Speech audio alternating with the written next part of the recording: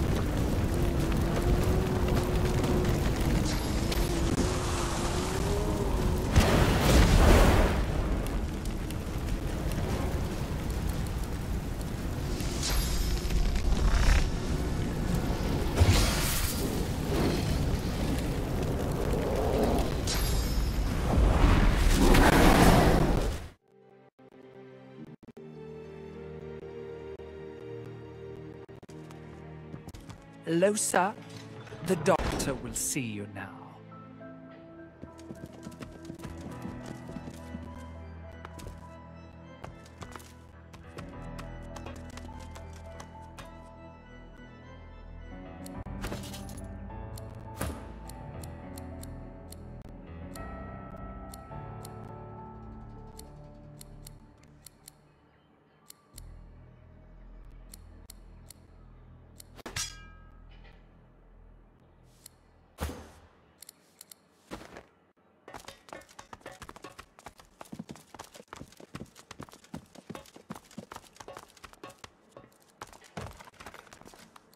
Ah, how good of you to come. And you've brought my favorite person in the entire world. How are you, Lohse, dear? It's odd seeing you here among my things, my practice. Usually it's me who visits you.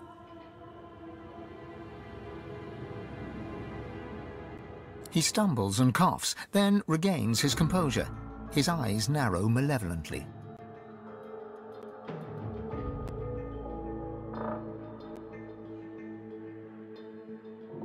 I understand you've been very, very, very busy. You're welcome in my home in this plane, Lohse. But I don't remember inviting you to my little hideaway among the stars. Who do you think you are? I have to say, Adramahlihk, you don't look too good. He winces and recoils, then quickly regains his composure. Come, Lohse. After all we've been through, you must know better than to cross me like this. You've seen what I've done to those who test my patience.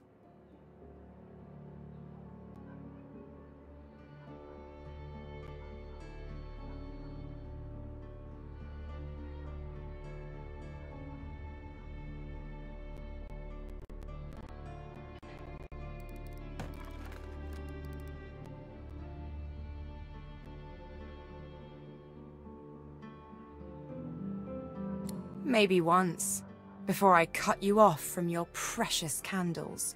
Did it hurt when I snuffed them out? Did you feel the loss of each one as their power fell away from you?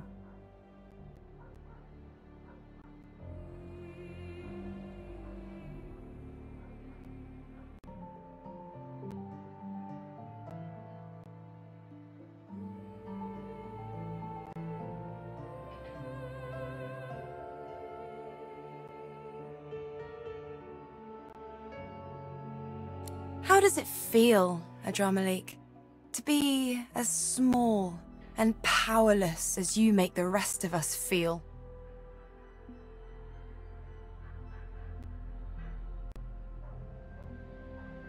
Shut up! Shut up!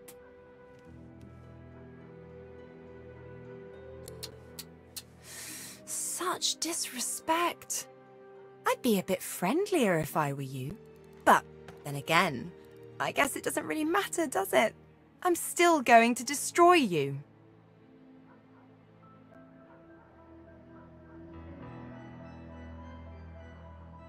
Stay away from me. Stay where you are. You should have stayed away from me.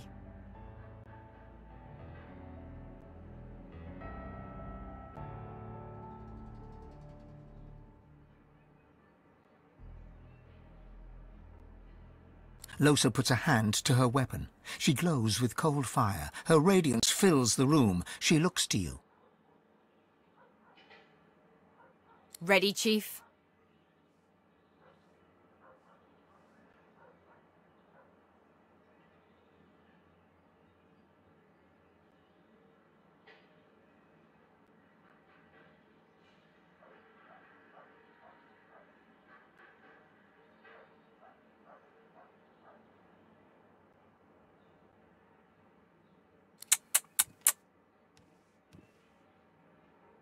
I have given you everything. The powers of the gods. Freedom from their relentless demands. Everything I had, I laid at your feet.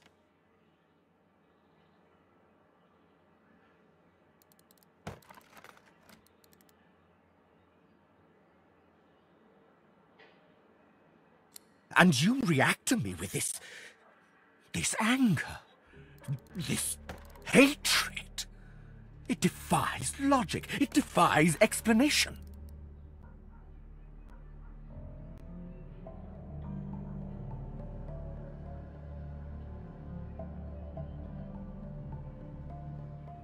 There's nothing left I can do for you, Lohse. Nothing but feel sorry for you. And that I certainly do.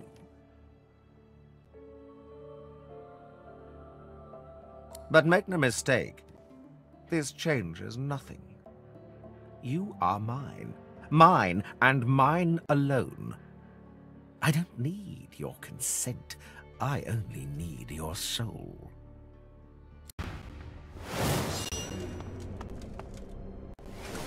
Never pick a fight with your doctor.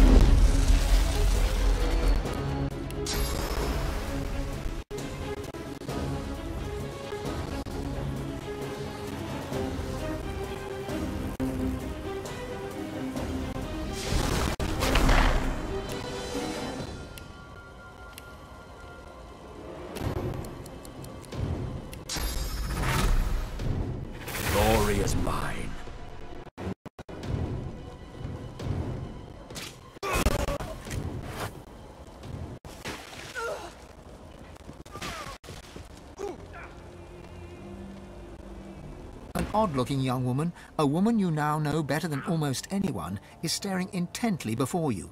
Fingers curled rigidly at her sides. Greyish-black veins run from her eyes down her cheeks, then suddenly clear.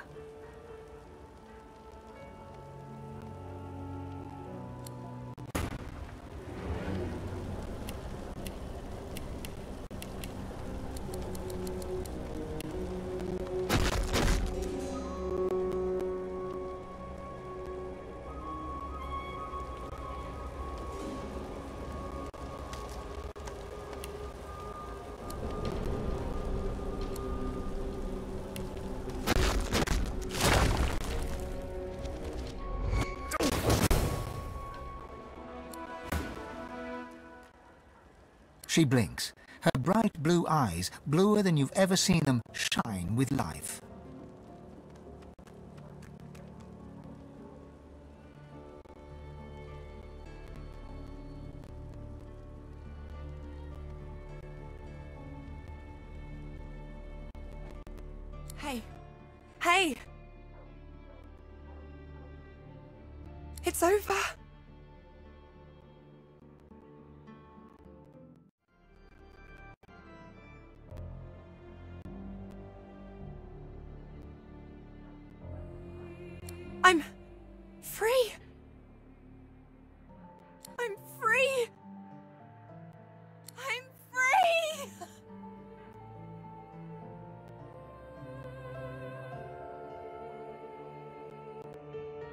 Goes silent, listening. You know, I think maybe I was wrong before. That I could just, just get rid of him. I can still hear something deep down. Like an echo, really. An echo of a whisper. And if I choose to listen, She pauses, one ear cocked, and frowns.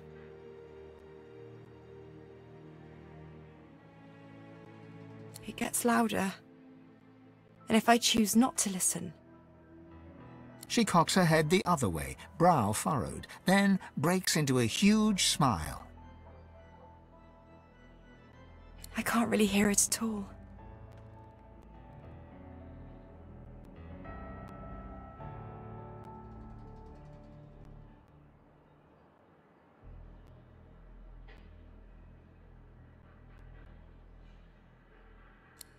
That's a new kind of freedom. Maybe not the freedom to be alone, but the freedom to choose which company to keep. She smiles and steps forward, her heat like a warm breeze, her smell like earth and leaves, and leans in to whisper in your ear. I choose me. And I choose you. I choose us. She leans back, her face shining, eyes dancing, radiating freedom, love, joy itself. So, now that my voice is mine again, want to hear a song?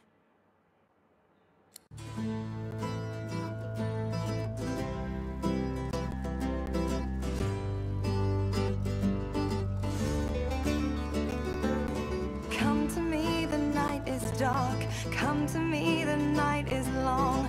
Sing for me, I'll sing along. Sing for me, oh, sing for me. Sway with me, we'll make them scream. Dance with me, we'll make them bleed.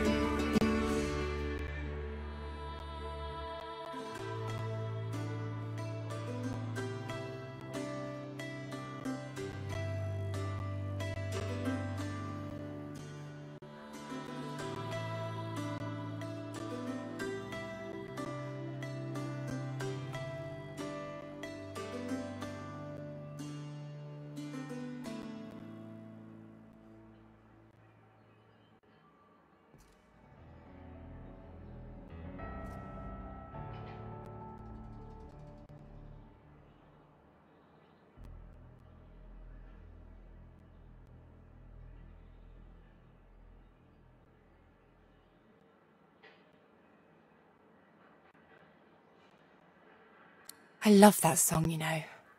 But I'm not even sure who wrote it. Maybe it was me. Maybe it was one of the voices. Maybe a bit of both.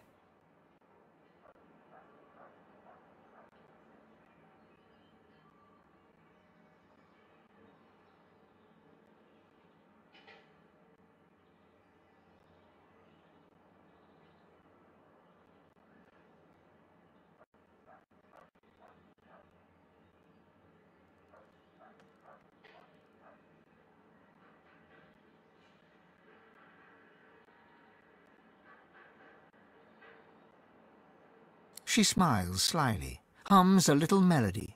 Nothing you've heard before. I guess it's time to start on some new material. Now, onward. She stops short, mid-stride. Her eyes go wide. It's... it's not... I see them all. Thousands of them. Thousands of planes. Thousands of demons. Millions of souls. Lost souls. So many trapped. So many doomed. Like I was. Like I was. She shakes her head, eyes squeezed shut. Someone needs to help them. Someone like us. Someone like me.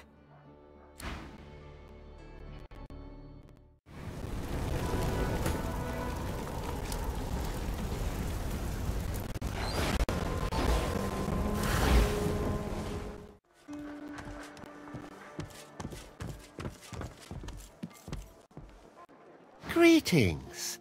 I trust that the item I gave you is having the desired effect. A beautiful piece, isn't it? Ha fully charged, you say? That would mean that five souls... You'll need the Scroll of Atonement. It's locked in my desk on the second floor. The password is Giora.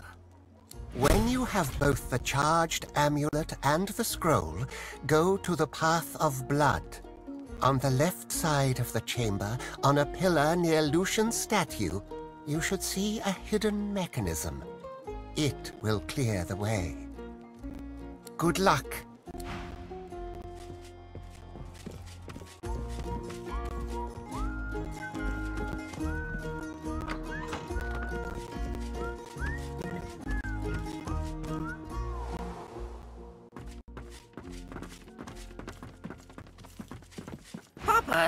Permission granted.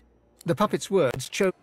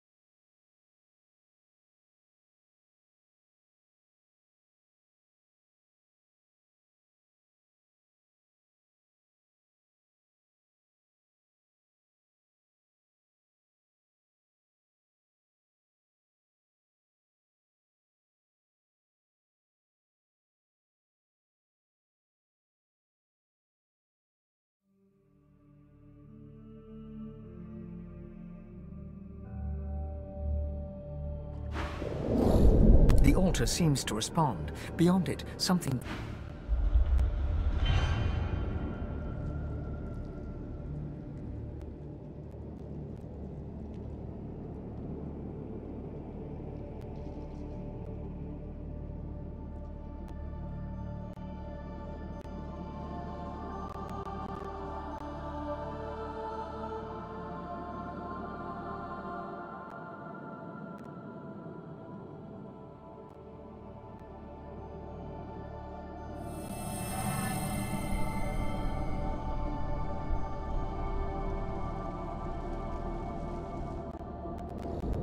blessed stone altar.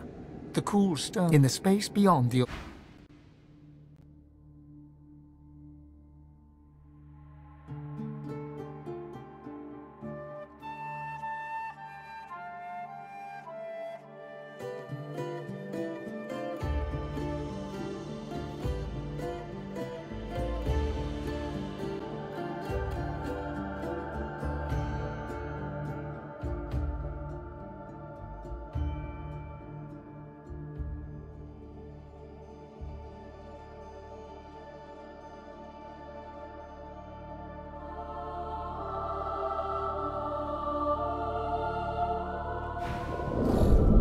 seems to...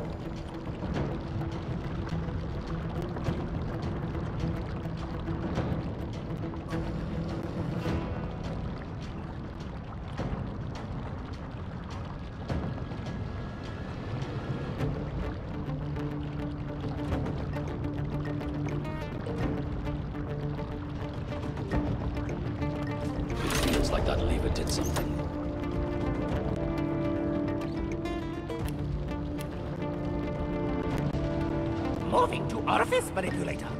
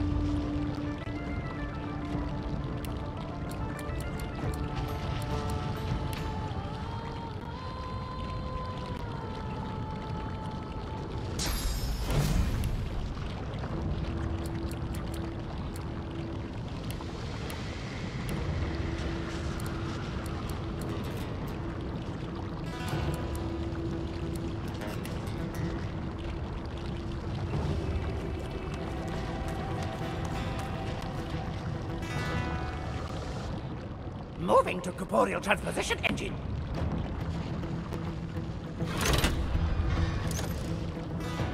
What the hell's just happened? Ah, pulling a lever invites magical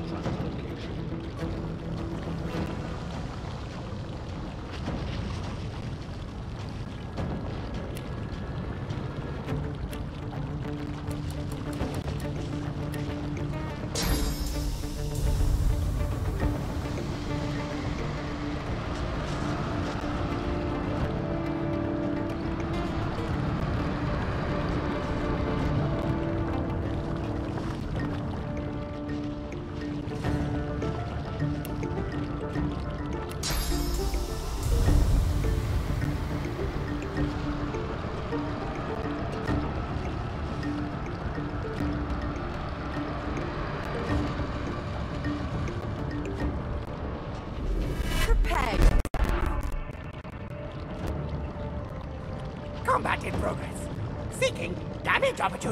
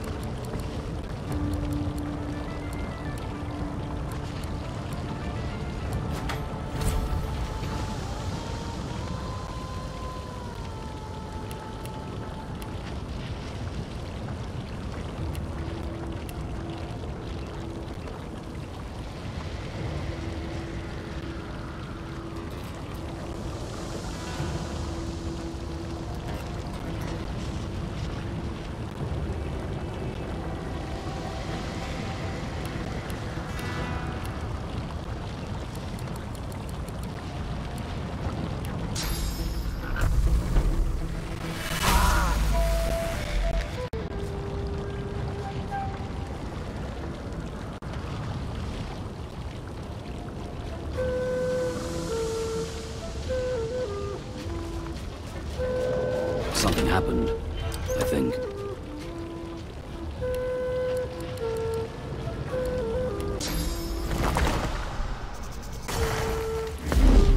They just keep coming. Look around. There's got to be a way to make them stop.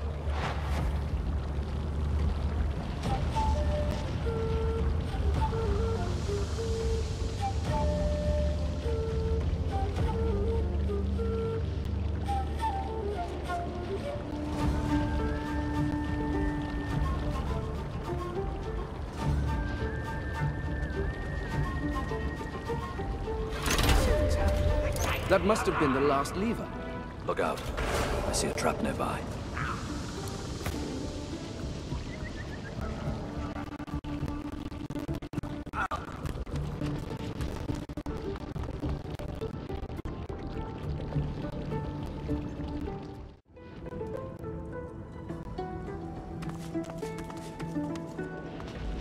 The truth hangs heavy upon the air itself, unspoken.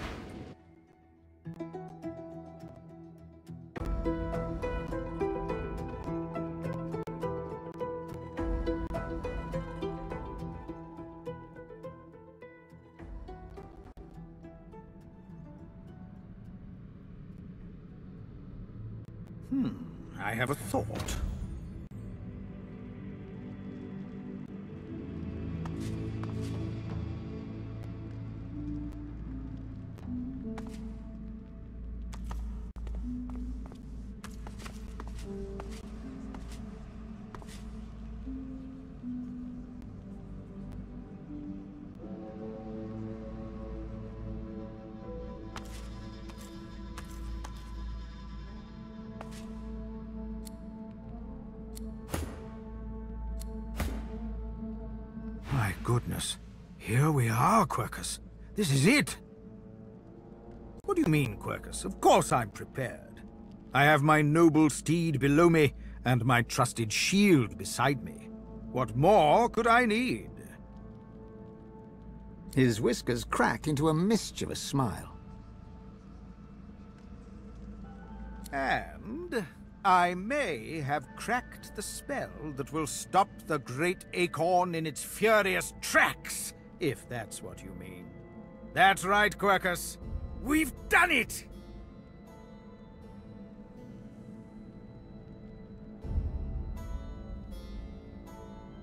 Sir Lora turns to you, his beady eyes shining with pride. I owe you an apology, Shield. At, but I see now that my prejudice was foolish. Without you, Quercus and I might still be stuck on that abominable prison island. Now here I am. Here we are, on the brink of saving the world.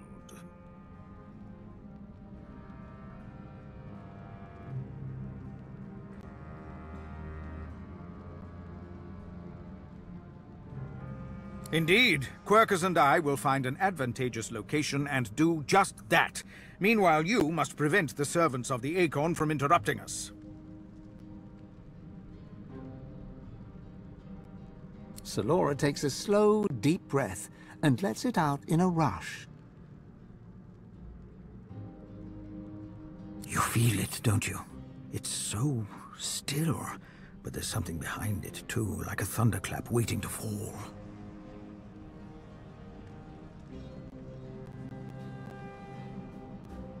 The great acorn is nearly here.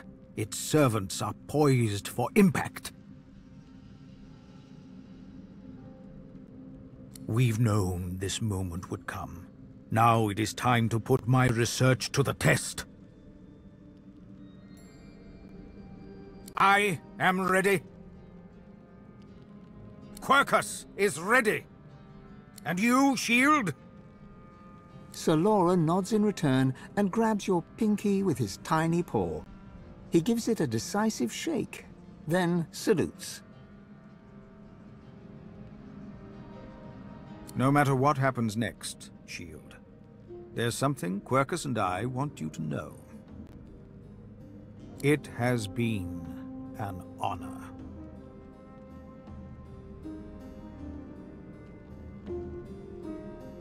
Now! Onward!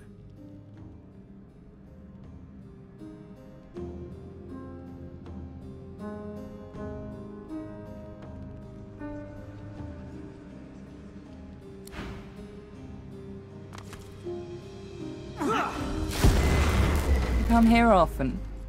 I don't know what you did, but you just released a source blood. I thought I'd come and see what all the fuss was about. Should. Looks like the big moment has finally arrived. I will do everything I can to support you, Godwoken. I will pray for you. I think you'll need it. Don't underestimate the power of true prayer.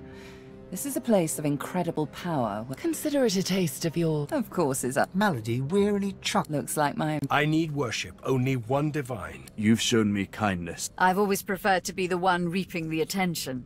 But you've turned the tables. I suppose it's only right, seeing as how a new divinity may stand before me. Now go. Rivellon needs a new divine.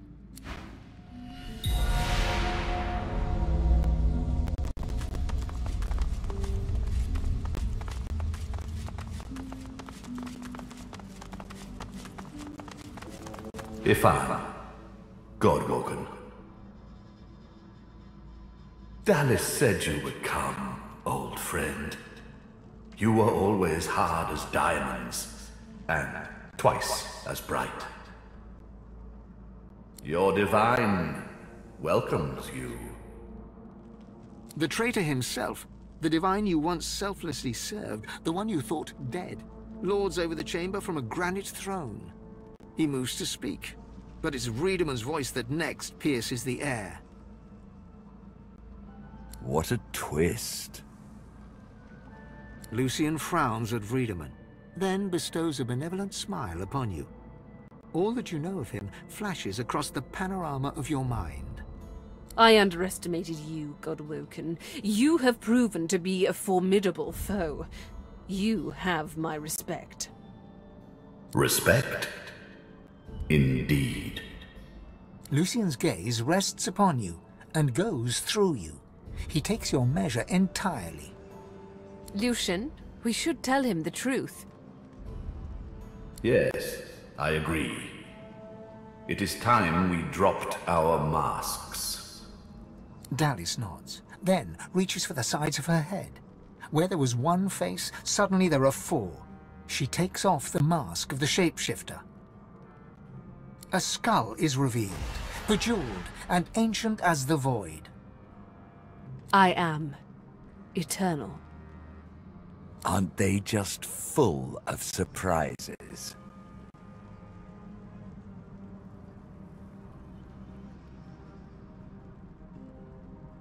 Fear not, old friend.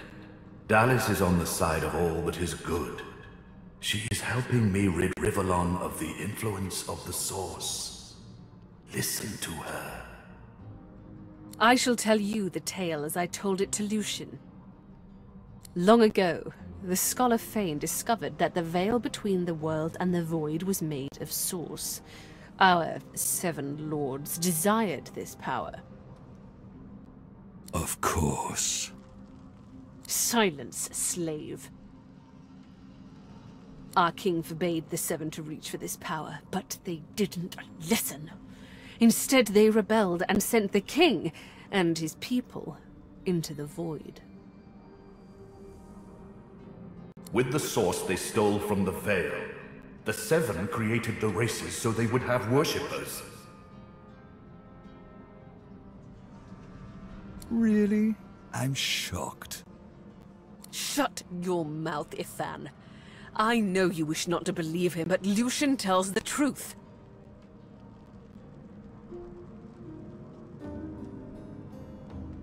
He hesitates, then he swallows his pride. Here is the truth. I have killed thousands, perhaps millions, for the greater good. But I made a mistake. It was my use of Death Fog that opened the door to the God King. It upset the Veil and took the Seven by surprise. My one mistake meant all those sacrifices were for naught. Those sacrifices must have meaning. They must stop the Void once and for all. I seek vengeance against the King and against the Seven. There is more, but she hesitates to share it. Then she decides that she must. I was a child when the God King tore my family apart. I was purged of sores and left to rot in a putrid tomb. A child. It was hell. A hell I suffered for the sins of my father. He was the one that betrayed the God King. He was the one that told the Seven the secrets of the Veil. The cruel joke of it all is that the same tomb that housed my tortured body is what sheltered me from the Void. Few Eternals escaped that fate. Myself, my mother, and Fane. Yes. Fane is my father. What? No. It can't be. Everything Dallis did. It was all you. Child. Everything I did, I did to fix your mistake. Our people, every purged sorcerer, every dead magister, all those weeping families. They're on your head, father. But now I have revenge. Revenge on the Seven and the God King. Revenge for what they took from me. My life. My people. My mother! The hammer's voice falters and her coolness vanishes. Every crack and rasp betrays her grief. But her next words burn not with sadness, but anger. Did you even look for me? Did you even look for her? Dallis, control yourself. Our purpose transcends your personal wounds. Yes. You... You are right. Dallis's reasons weren't mine to question. All that ever mattered to me was peace. Peace for Rivellon. Peace for me, whatever the means. And now, we are on the precipice. She sacrificed herself for the betterment of Rivellon. She didn't do it willingly, mind you. Curiosity led her to the tomb. My hunger for source took care of the rest. I presume her bones remained there. And then I took her place. Face rippers are such marvels, aren't they? It didn't take long to realize that Lucian was the key to my vengeance, and I was the key to the salvation of Rivellon. While Dallis sought the Aetherin, I started draining the gods of their source. Slurp, slurp, slurp. One more word from you, and I shall use the leash. I had to hide from the gods. So I had the walls of this crypt equipped with tenebrium and protections put in place. It worked. Everyone, even the gods, thought me dead. As divine, I was created, empowered to stop the void. I was the avatar of the Seven, their strength and their weakness. My bond to them allowed me to drain them of their source. Yes, in a sense. When the Death Fog was unleashed, many elves died. With fewer elves to worship him, Tir-Cendelius weakened. This gave the God King his first real foothold back in the world. To strengthen himself, he sent his Void Woken, the remnants of my people, to hunt down the sorcerers seeking to reclaim their source. The Voidwoken. Disgusting things. They ravaged the land they touched and infected the air they breathed. They were also an incredible stroke of luck. You see, blaming the sorcerers for Voidwoken made them easier to capture. The Aetherin now contains almost all of the source the Seven stole. Soon, we will be able to heal the Veil. The void shall be banished, and I, Lucian the Divine, shall return from the dead. A false divine, of course. I shall have no power. But the world will not know this. I shall demand peace, and we shall have it. The plan is almost complete. We have made so many sacrifices, Ifan. All of us. Of ourselves and those we love. One last sacrifice is required. For the future of Rivellon, you must surrender your source. Decide. Be the true hero and give up your source, or be forced to submit. Like a coward. Like a slave. There is no other way. The source of the world is required to close the veil. All of the source.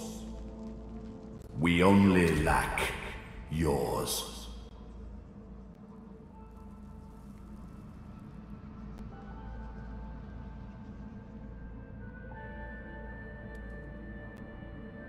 As I say, one last sacrifice is required. Yours.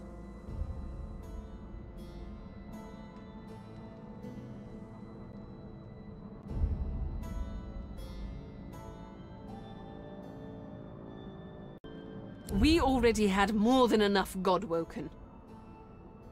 Another sacrifice I was forced to make. Those beautiful people. I was as kind as I could be. I promise you that. Good. You understand.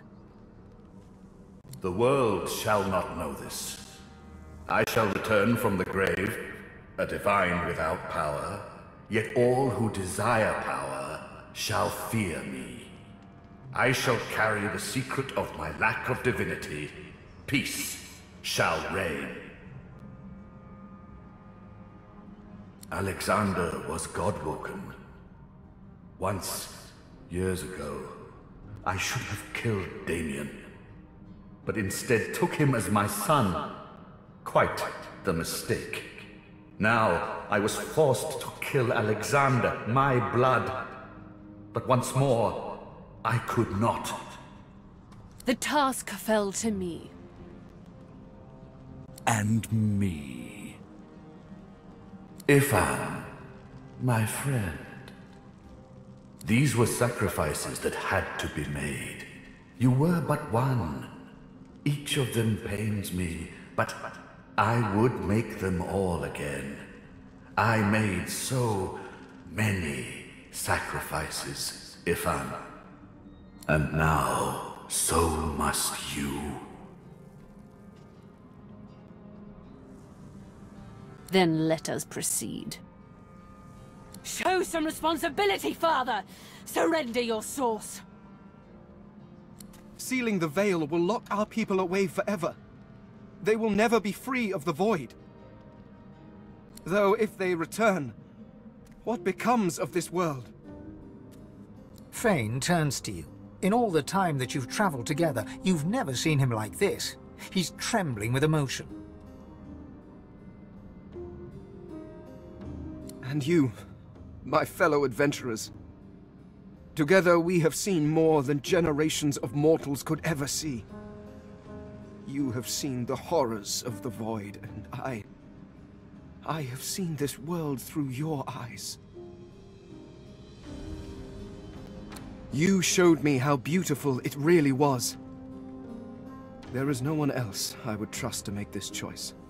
Whatever you decide, I will follow. You'll be a hero. Everyone will know of the sacrifice you'll make. Your name will be synonymous with the survival of Rivellon. Don't let them do this to us! But our souls? There has to be another way. No, never.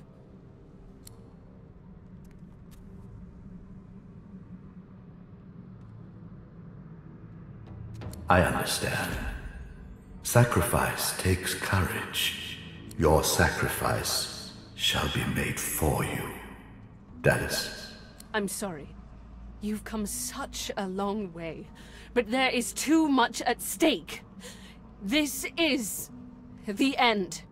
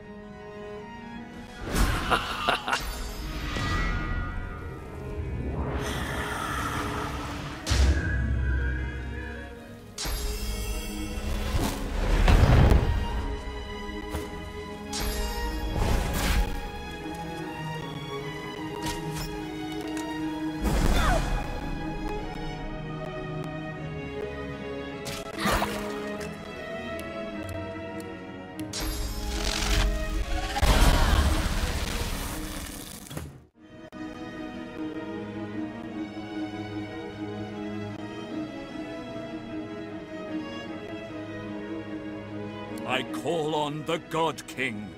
Come, claim what is yours. How? What? You are unleashed! Vredeman cackles in delight at this turn of events. His unbridled glee slithers into and around your pockmarked bones. You left the leashing wand next to me, you stupid maggot. So accustomed had you become to me pretending to be your slave. Kill him! Do shut up, you tedious buffoon. And don't look so surprised. As if I would allow that bone-bag Dallis to enslave me. Me?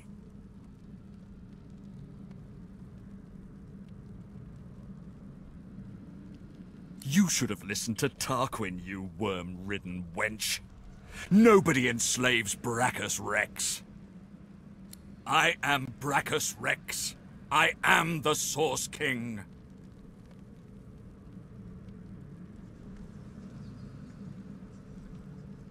Yes, kill him. Now! Too late, you mouldering, blight-stained pigs. Grant me power, my ally. God King, I call on you.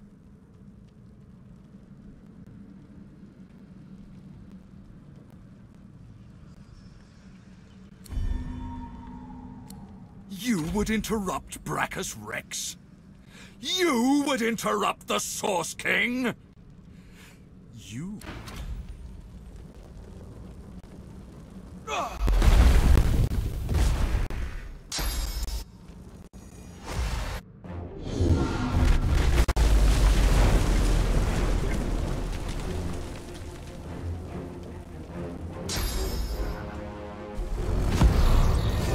God King hears my call. He sends a companion worthy of my power. Come to your father, my pretty thing. Come to the Source King!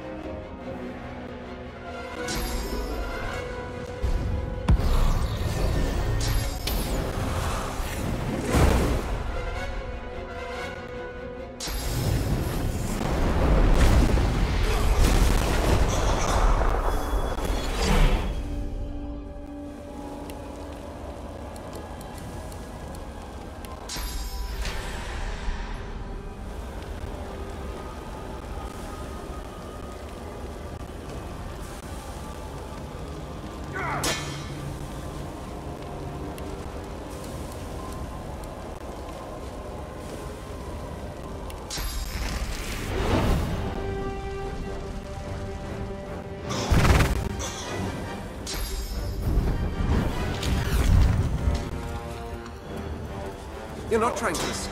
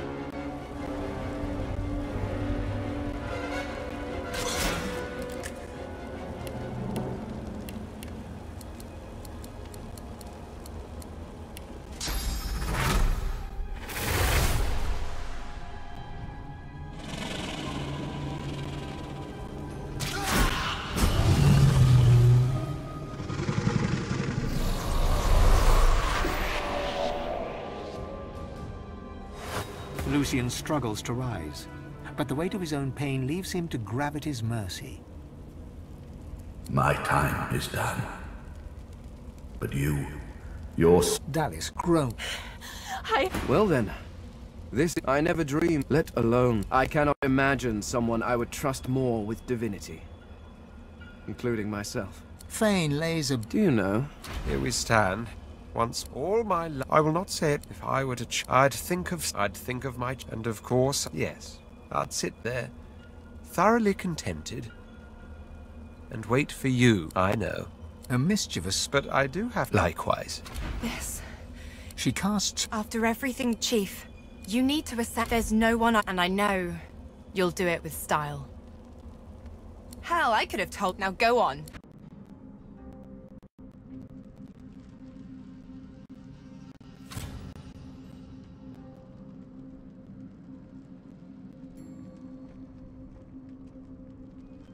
Or to sacrifice.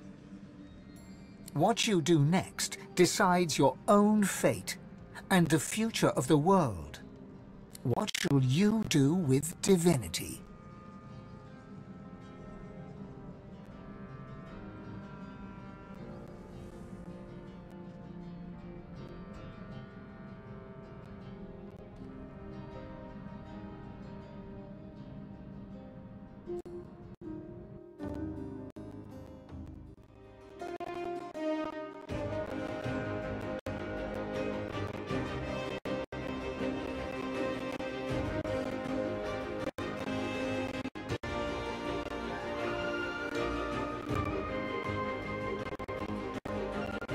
So it ended. A tale that began with my own ill-fated attempt to rid the world of the Godwoken.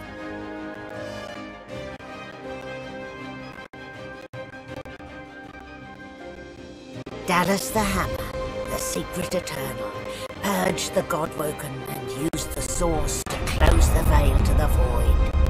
The world was saved. Statues in memory of the Godwoken who sacrificed their source were all across Rivellon. They would never be forgotten. The half-demon Malady took pity on the soulless, godwoken, silent monks and brought them to the Hall of Echoes. There, from the scraps of their souls that remained, she restored them to life. Sorcerers no more, they lived out the rest of their lives, freed of the burden of being the Godwoken. Freed from the weight of the world. As for me, the Godwoken sacrifice severed the link that bound the Sworn to the God King, and I was finally free. To atone for my sins, I spent the rest of my days taking care of the sick and elderly, telling the story of the Godwoken, that the world may never forget the greatest heroes Rivellon had ever seen.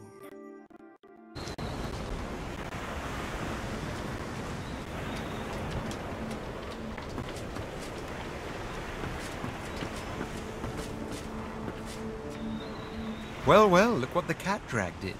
A silent monk. At least that's what you'd be if it weren't for Malady. Like I would about the return of the codpiece, that it's highly unfashionable. The man's a man, all too prone to the weaknesses of the heart. We've seen the results of his errors firsthand. I give it a week before he errs anew. Yes, well, that's to say, that's love, not... All right, all right, you made a point. Besides, Lucian. Perhaps even a god deserves a second chance, even if he is a god without powers. As for myself, I'm counting on a second chance as well. Why, I mean my empire, of course.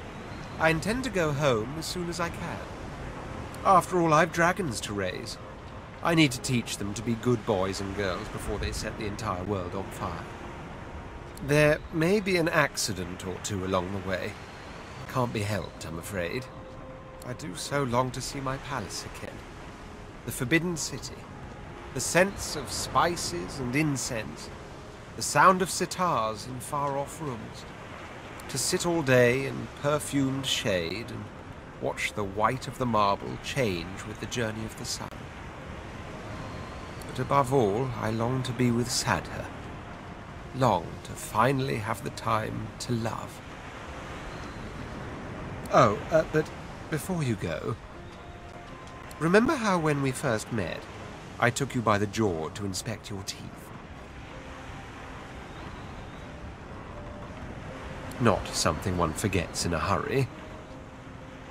Now, if you recall, as per your own testimony, you can cook, tailor, and groom. Three quite indispensable talents. At the time, of course, I couldn't have foreseen the adventure ahead, but now that it's quite over, I'd like to renew the opportunity for you to become my slave. What say you?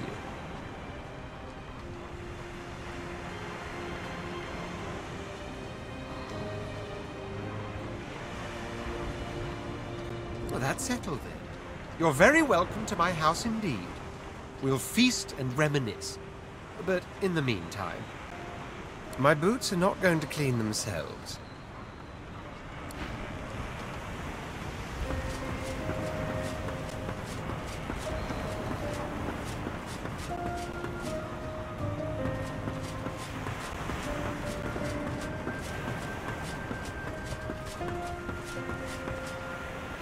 Grin crosses the spirit's face. Whether her smile is sincere or not, you can't be sure.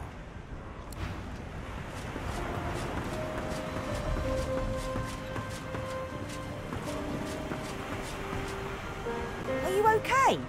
You don't look okay.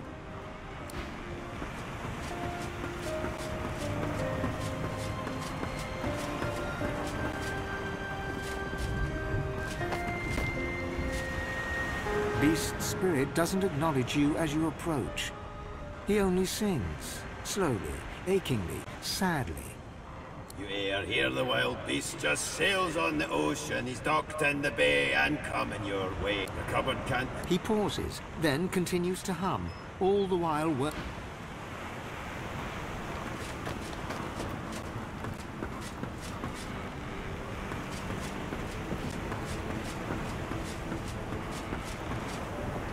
I always thought that those who resorted to self-sacrifice were lacking in imagination. I must admit. A world without source is one that will need individuals of wit and intellect. A sharp mind is the only magic now. I believe I shall enjoy this new world very much. That is the question, isn't it? How does one top the greatest feat of necromancy ever conceived? I might have the answer to that. Tell me, have you ever heard of Gustavgen? No, of course you wouldn't. It's a written language. Un I intend to seek... Well, well, Quercus. Look who finally graced us with their presence. I suppose some thanks are in order. What? No, no, you should be thanking me. I just saved the world from the Great Acorn. You're welcome, by the way. Honestly, Quercus, some creatures have no sense of perspective. A huge grin slowly spreads across the squirrel's small face. Of course, had you not stopped this God King and his lackeys, there would have been very little left for me to save, so... The cat moves forward, twisting around your legs and filling the air with the sound of dry, dusty purring. Ah, Quercus! Please, have a little decorum.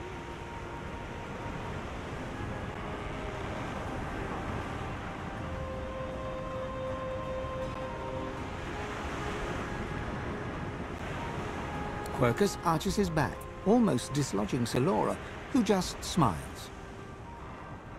This battle is won, my friend, but we still have a war to fight. We've undone the Great Acorn, but the Knights of Dre are still out there. They summoned the Great Acorn once. They will be able to summon it again. We have to destroy their order, once and for all. That is the future Quercus and I have ahead of us. We no longer need a shield, but we are very happy to have a friend.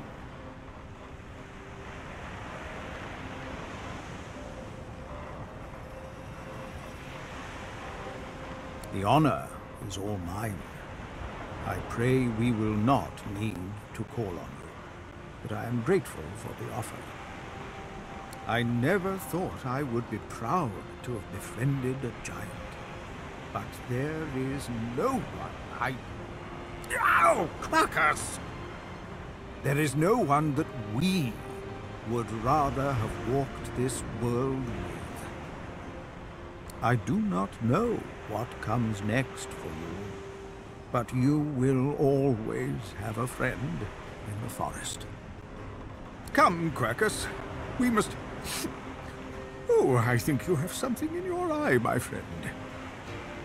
The cat curls up and snuggles into his squirrel friend, who quietly sits and sniffs on the deck.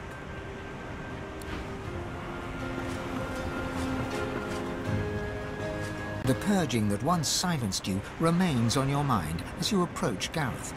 You are grateful for Malady's miraculous touch. Without it, there would be no you. Amazing I'm still here. That you're here. And that you might still speak. That Lucian...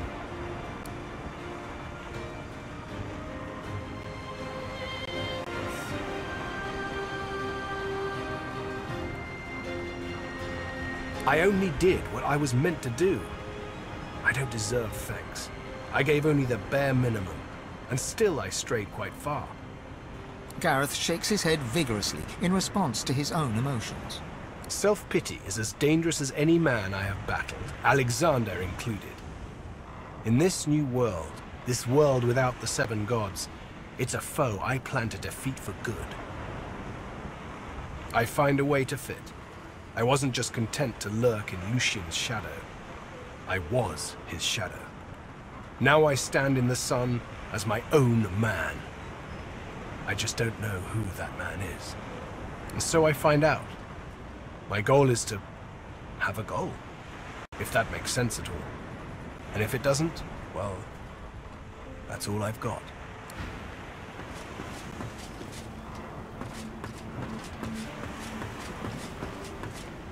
You are a very, very, very lucky person. If Malady hadn't restored us, I'd... well, I'd be a drooling monstrosity, but a vengeful one.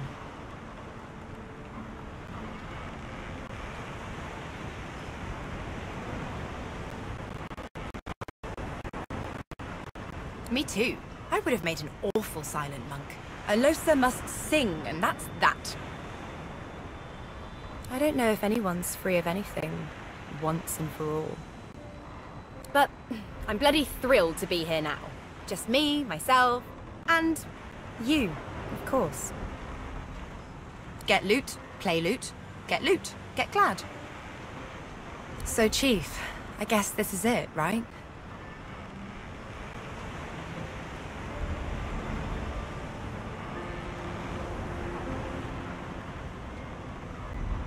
Well, I mean, you can always come with me. I mean, I'm just saying, it's an option. If you want. Maybe? I still love you. As she turns from you, the whites of her eyes darken, the veins in her face go grey, and a wicked smile curls her mouth. Suddenly it's gone again. She winks, and you're left wondering whether you saw anything at all. See you around.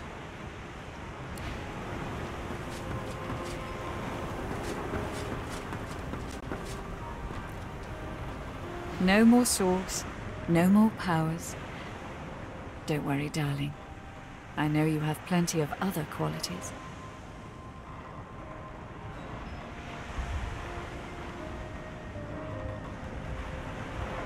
Reform my ways? How adorable. No, I'm afraid I cannot escape who I am and what I've done. Her eyes flick down to your mouth. She smiles coyly, then slinks forward to her mouth meets yours and devours you with predatory abandon. Somewhere in the recesses of your mind, you think you hear her voice sigh, mine. But then the kiss ends. Something to remember me by, darling. Hmm. Who knows? A nice cottage someplace quiet for Mihaili and I. A roaring fire and a feather bed. Maybe. But a girl needs some fun, doesn't she?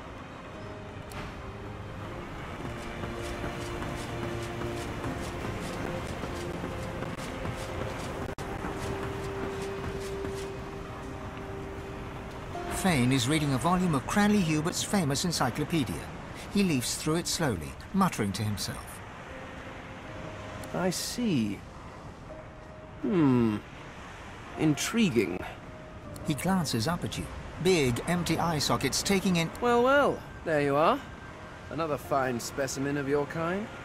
A little leaner than when we first met, and a little less divine than you'd hoped, I imagine.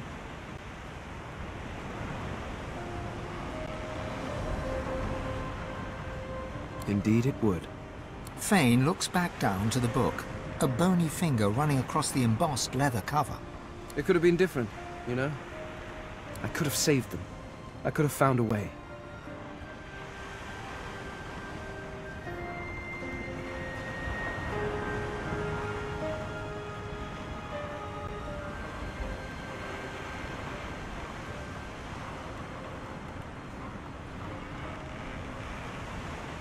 I could have done more. So, had they decided to live in peace with the mortals of Rivellon, maybe we could have saved them. But they made their choices, and I made mine.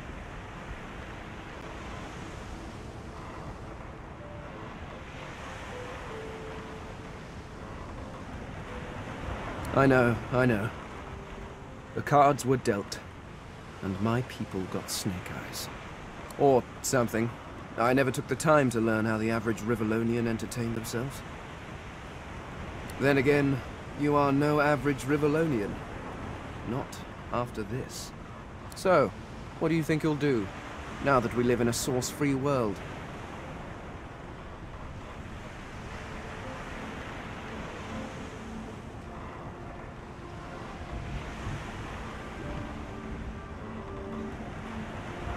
Indeed. I may be one of them. It seems we are all facing a brave new world.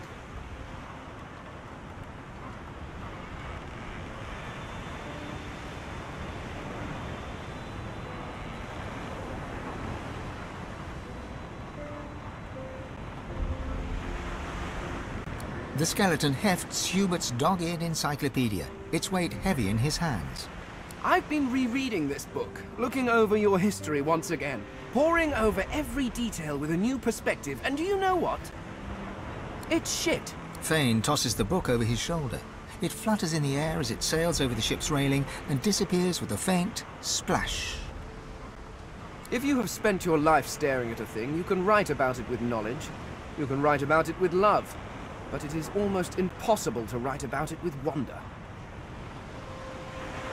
You creatures have spent your lives trudging about this world, and you've grown blind to its miracles.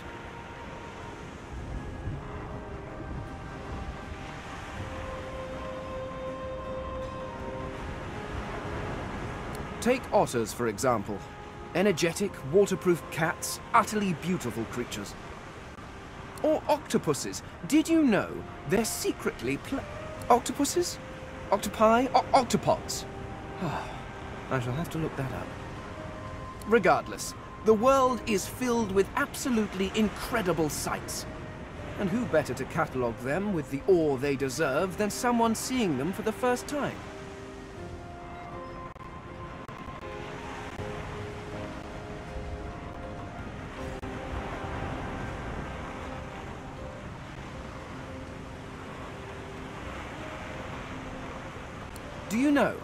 There is the idea that nothing is ever truly created or destroyed.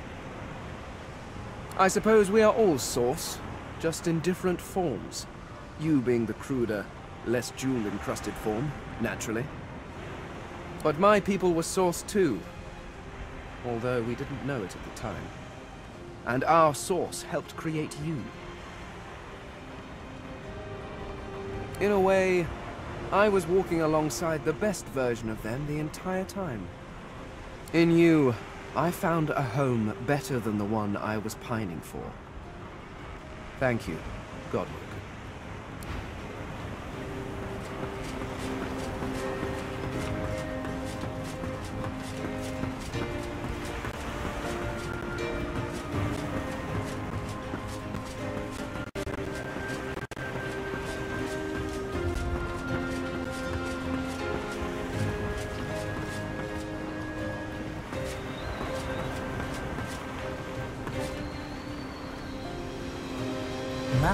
Stands tall and proud.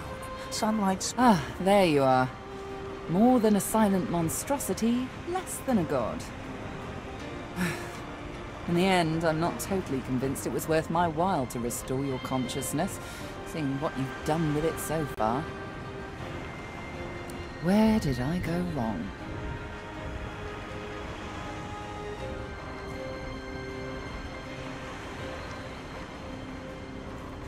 Ugh. I'd been counting on sacrificing my health and happiness for a future god, you know, not a silent monk in waiting. Never mind. I'll find another way. I always do. She fingers the mask covering her face. For a moment, it seems as though she's about to remove it. But instead, she places a hand on your shoulder. We've come a long way together. I did my best by you all the way. Sacrificed much. And I'd have given even more to see you fulfill your destiny. She looks you up and down.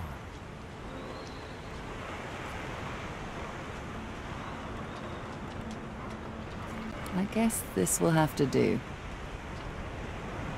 Take a moment, why don't you? Relax, enjoy. I certainly plan to do the same.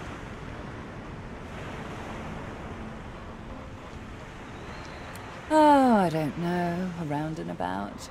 Treat myself to some mead, a lover or 300. I'd say we've earned it.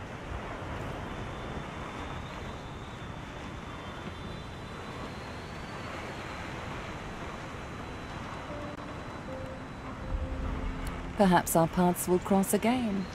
Perhaps not. Until we find out.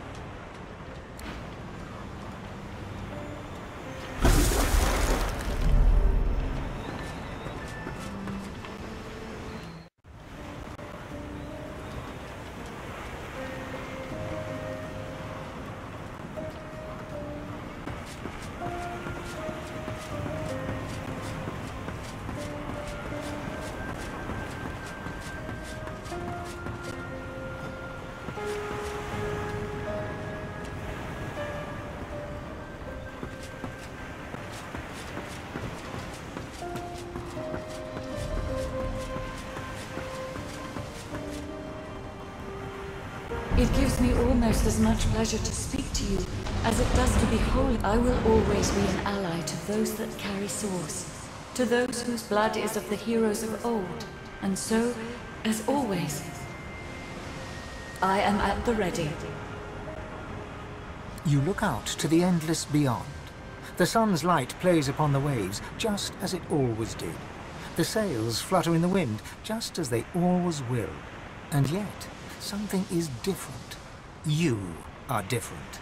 And with a start, you realize where you must go next. You speak the command to the Lady Vengeance, and another chapter begins. At last, the world was at peace.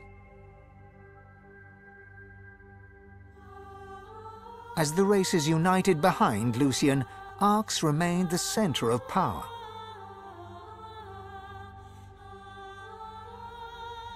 The ancient Lizard Empire opened its gates. The houses disbanded, and the Empire adopted a pluralist quasi-democracy. Anyone could vote for whoever they pleased, as long as the House of Shadows approved.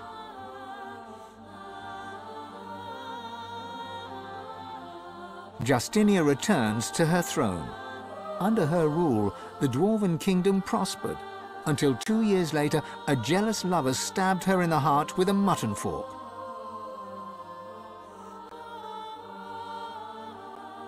Lucian made amends to the elves. He gave them lands and vast riches from the coffers of the old divine order. But the elves never forgave him. They would not trust humans again.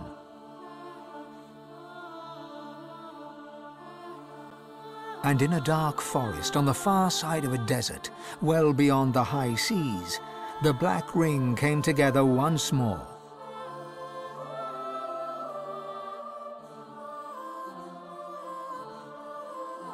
The island of Fort Joy, the old redoubt of the Source King Braccus Rex, was turned over to the people of Driftwood to use as they wished. They turned it into a holiday resort. Reaper's Coast prospered.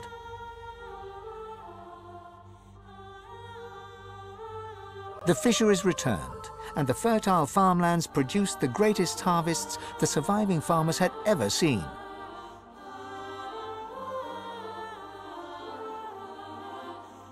Blood Moon Island became particularly fecund, its soil producing the greatest crops.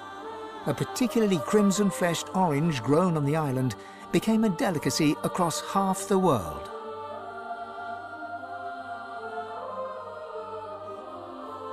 The black pits took fire. The oil there burns still.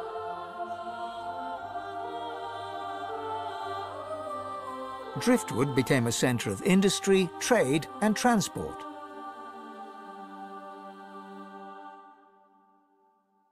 Lohar the dwarf became mayor. His time in office was cut short by an unfortunate wound that spontaneously appeared on his neck.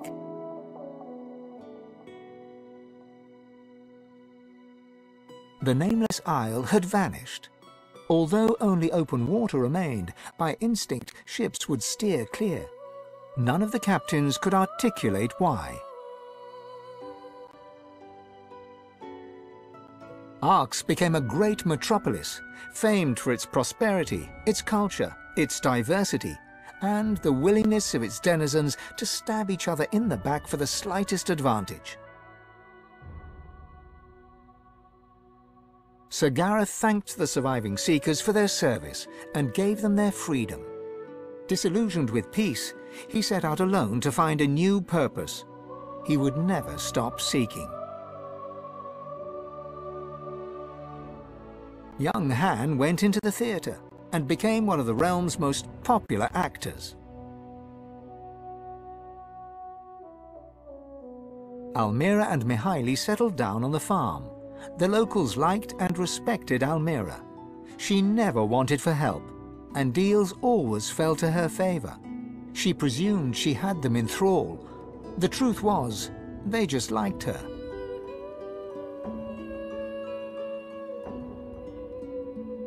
With no new divine, Malady found herself in a predicament.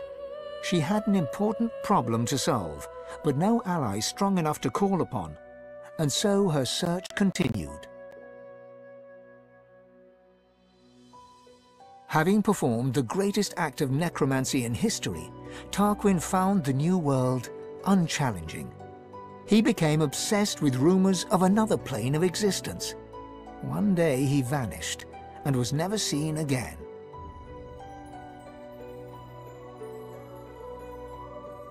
Ahu the wizard became one of Lucian's most trusted advisors once more. He always knew that something had changed in the divine. He never discovered what that was, or, if he did, he never said a word.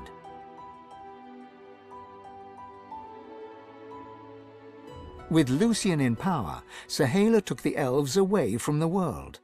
They grew strong once more amidst the trees of the regrown home forest. Some say her plans for revenge will bring about the end of days. Some say only Tova, her mother, holds her back.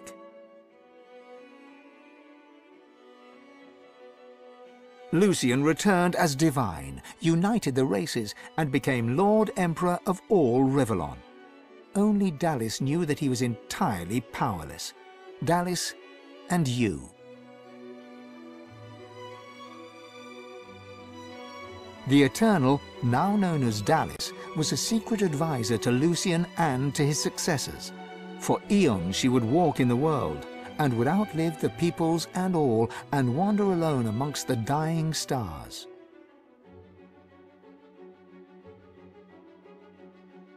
His run-in with his daughter set Fane on a new path. He travelled Rivellon, recording the wonders he discovered, but always kept a socket peeled for signs of the Eternals. He hoped to find the wife he'd lost, but he never did. Then again, he's still looking.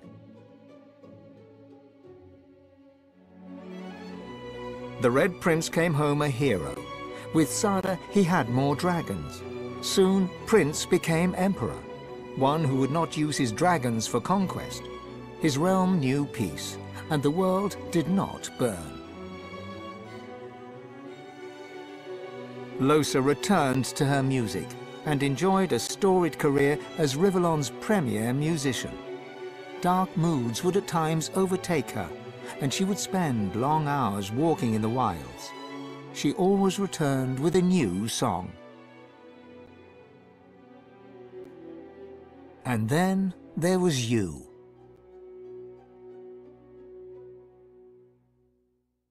You returned to the world as one more human among many. Your future was yours to decide.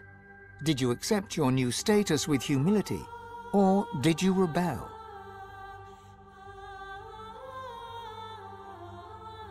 Only you know the truth. Only you, if you atone for your sins.